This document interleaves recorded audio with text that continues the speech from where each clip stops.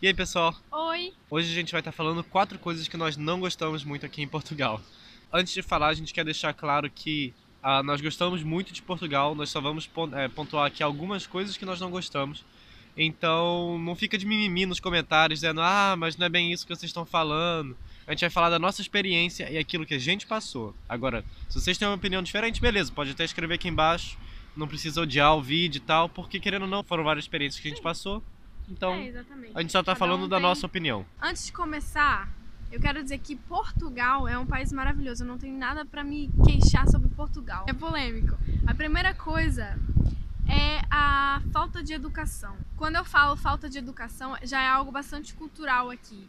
As pessoas são meio rígidas demais para tratarem umas com as outras. E isso até acontece comigo, porque eu, quando eu falo português de Portugal, eu noto que eu fico mais agressiva. É uma coisa muito estranha. É uma das coisas que mais me incomoda é a forma rígida e ríspida com que os portugueses tratam eles próprios e também os imigrantes. É um pouco cultural também, porque eu fiquei escandalizado quando eu cheguei, por exemplo, num, posto de gasolina aqui, onde é, tem, tem uma parte onde funila. Tem duas filas e depois se torna uma fila só.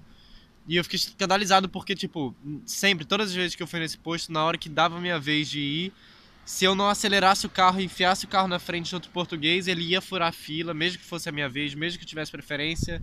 Às vezes ele ia passar assim pela minha frente e furar a fila de, de carro. É aquilo, minha experiência, passei várias vezes por isso. Eu, por exemplo, já não concordo muito com o Felipe. Isso é só uma situação. É, pode ter sido mesmo que várias vezes aconteceu com ele, mas eu acho que, em comparação com os outros países, Portugal respeita muito a questão de filas, respeita muito as pessoas, o outro. Isso é uma mentalidade bem europeia. Mas é, o que eu acho que é muito ruim é a questão do atendimento ao público. É, é um atendimento muito pobre. As pessoas são. não ligam muito, entendeu? Você chega numa loja, por exemplo, ninguém fala, oi, precisa de alguma ajuda e tal. É, Esse aconteceu, tipo de coisa. aconteceu comigo, por exemplo, que uma vez eu fui comprar uma latinha de Coca-Cola. Perguntei à mulher, tem uma lata de Coca-Cola aí? Ela falou, não.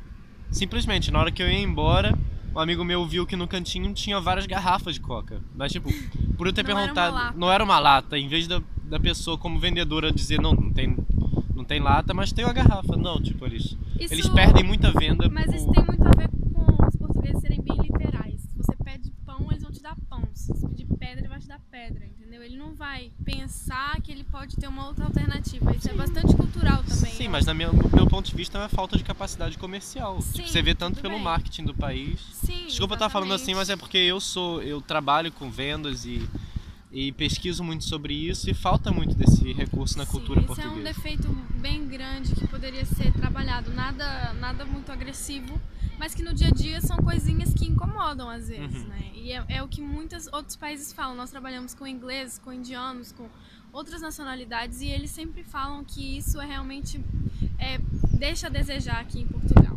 Sim. Vamos lá pro ponto 2? Isso é minha opinião também agora. Comodismo e murmuração. É, É. eu concordo com isso também. Portugal foi um país muito rico há uns séculos atrás e perderam tudo. Então acho que isso traumatizou um pouco. Então eles, é, os portugueses têm muita, muito pessimismo, muito comodismo, não, não gostam das, de, de arriscar muito. São pessoas muito no- jogam muito pelo seguro, pelo medo, por, pelo fato de já terem perdido muito. é, isso fez com que eles se retraíssem. É, e então são pessoas que não experimentam nada. Por exemplo, o comércio aqui em Portugal é sempre muito limitado porque as pessoas não experimentam coisas novas.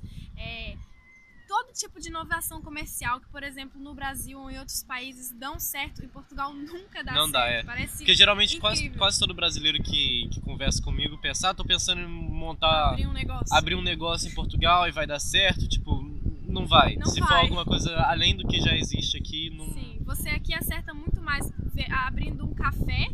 Você É. pode ter 20 cafés numa rua. Você ganha mais dinheiro abrindo um café. do que Mais você um abrir- café exato, abrir- mais um igual do que você abrir, por exemplo, um- Uma loja de coxinha, por exemplo, uma que coisa não tem aqui. diferente. Não funciona. Isso é uma coisa também É. que atrapalha o país a crescer, porque sem novidade você não consegue desenvolver, entendeu? E é isso que acontece muito aqui em Portugal. Sim, a respeito da murmu- murmuração também, que é o tópico aí, eu acho que, tipo, português reclama muito de tudo. Tipo, ah, como é que tá o dia? Se tiver sol, vai reclamar que tá ventando. Se tiver, Se não Sim. estiver ventando, vai reclamar que não tá ventando. Isso é muito cultural também e vários portugueses que eu já Sim, conversei é um já reconheceram muito isso também. grande. É, é mesmo típico do português, ser pessimista sempre. Sim. Agora eu escolhi também dois tópicos da minha parte e eu vou estar falando um pouquinho deles aqui. Então o terceiro tópico é o transporte público. Transporte público em Portugal não é ruim, se você for para cidades como Lisboa, por exemplo. Mas não é tão bom quanto, quanto outros países. Eles funcionam muito melhor é, do que o Brasil, porque as estradas funcionam muito melhor do que o Brasil. E o último tópico são as leis trabalhistas. O que acontece na, na Euro- União Europeia é que a lei da União Europeia é boa sobre trabalho, só que ela é boa para países que são justos e honestos com o seu povo. O que acontece aqui em Portugal, é, o que acontece com essa lei é porque, tipo, você pode dar contratos de trabalho para pessoa. E depois de um certo número de contratos, você tem que efetivar a pessoa como se fosse assinar a carteira aí no Brasil. Então você pode trabalhar até três anos numa empresa sem estar efetivo, sem ser funcionário efetivo mesmo da empresa. Ou seja, você está sempre Trabalho temporário. Sim, trabalho como se fosse trabalho temporário.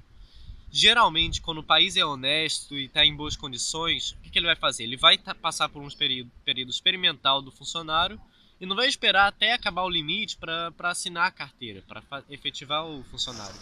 Mas aqui em Portugal, às vezes, o que acontece é a empresa mantém o funcionário por três anos depois simplesmente manda o funcionário embora porque é mais ah, de maior interesse. Eu acho que as leis trabalhistas aqui são, são péssimas para empresas que querem é, que só visam ganhar dinheiro e, não se preocupam com os funcionários. E aqui o, o sindicato dos trabalhadores é muito corrupto. Assim como no Brasil existe muita corrupção, aqui também tem, só que em uma menor escala. Bem menor. Mas Portugal, é, nós conseguimos ver muito bem que o Brasil é simplesmente um, um aumento do que já acontece É, aqui. tudo que era bom em Portugal ficou muito bom no Brasil, mas tudo que é ruinzinho aqui ficou, Ficou muito ruim no no Brasil. Brasil. é. Então toda essa corrupção que existe no Brasil, essa mentalidade tem muito a ver com Portugal. Uhum. Só que, claro, Portugal é um país que está dentro da União Europeia, então sofre algumas con- alguns condicionamentos para todas essas coisas erradas. Mas se eles estivessem sozinhos, com certeza seria bem, um bem mais parecido com o Brasil. Então é isso. É isso. Vamos mostrar para eles onde é que a gente tá? Olha, a gente vai mostrar um pouco do cenário aqui. Cuidado pra não cair por causa aqui embaixo, como é que é. Ah, vou mostrar aqui pra vocês um pouco. Olha aqui a piscina de onde a gente trabalha. A gente trabalha aqui no, no Oraville Beach Club, em Albufeira. Tá aqui o nosso quiserem hotel. pesquisar aí, o site chama MGM Mutu Hotels. É, é, vai, vou deixar no link aqui embaixo. Vou mostrar aqui pra vocês também um pouco do mar. Olha que lindo que tá. Ainda Tá tá no no inverno. inverno. Sim, a gente tá no inverno. Aquele hotel branco, esse aqui lá no fundo também é nosso. Faz parte de onde a gente trabalha. Então é isso, pessoal. Valeu por ter assistido o vídeo. Tchau! Tchau. Outra vez, é nossa opinião. Eu sei que muita gente vai ficar ofendida, mas é porque hoje em dia todo mundo ficou ofendido por alguma coisa. Não fiquem de mimimi, por favor, porque essa é a nossa visão. E é claro, a gente vai respeitar se vocês tiverem uma opinião diferente. E a gente até quer saber qual ela é. Então é isso. Falou, pessoal. Vamos voltar pro trabalho. Tchau, tchau! Tchau. Ai, caí. Será que pegou isso? Alguém caiu de maduro. Maneiro, fechou bem o vídeo.